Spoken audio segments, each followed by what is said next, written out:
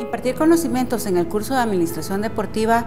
eh, fue una experiencia sumamente agradable, ya que eh, me permitió compartir conocimientos con eh, estudiantes universitarios y personas afines al deporte y algunos dirigentes deportivos que están vinculados en las federaciones y asociaciones, sobre todo el conocimiento de cómo se integran y funcionan las instalaciones deportivas de CDAG, las cuales llevan un funcionamiento y un tratamiento no solo de infraestructura, sino que llevan un funcionamiento administrativo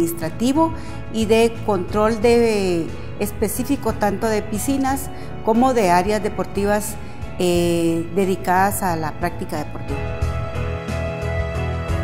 Quiero agradecer al Comité Olímpico Guatemalteco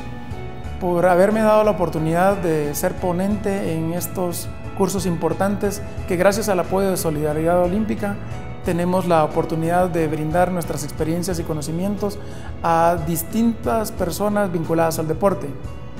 Tuve la oportunidad de impartir